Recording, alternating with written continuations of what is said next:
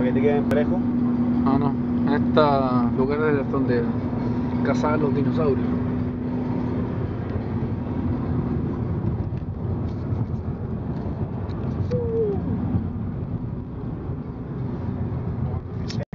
sacando